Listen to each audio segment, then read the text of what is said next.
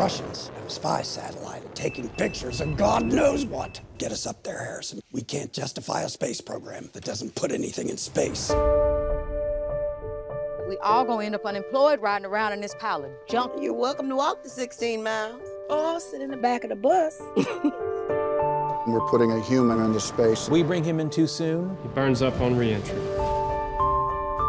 I need math that doesn't yet exist. Find a mathematician before the Russians plant a flag on the damn moon. You have identification on them? NASA, sir. I had no idea they hired. Quite a few women working in the space program. Space Task Group needs a computer. Katherine's the gal for that. She can handle any numbers you put in front of her. They never had a colored in here, but don't embarrass me. This wasn't emptied last night. Uh, I'm sorry, I'm not the. You should be an engineer. I'm a Negro woman. I'm not gonna entertain the impossible. I'm standing beneath a spaceship. We are living the impossible. Come on! The IBM data processing system. We have to know how to program it. Like that. Like Did a girl.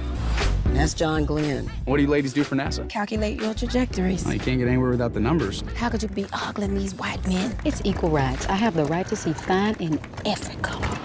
NASA doesn't commission females for the engineer program. Every time we have a chance to get ahead, I would like to attend today's briefing. There is no protocol for women attending. they move the finish line.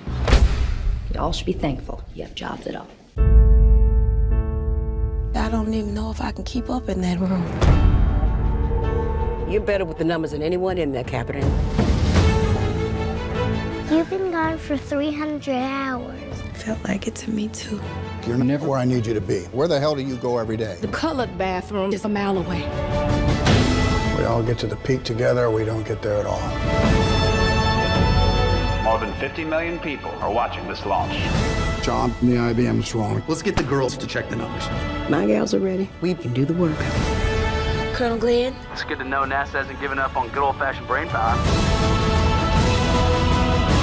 The Friendship 7 has experienced some sort of a malfunction. There's a real fireball outside. It's getting a little hot in here. We're in the fight of our lives, people. Friendship 7, do you copy? Over. Good old-fashioned brain power. Three, two, one.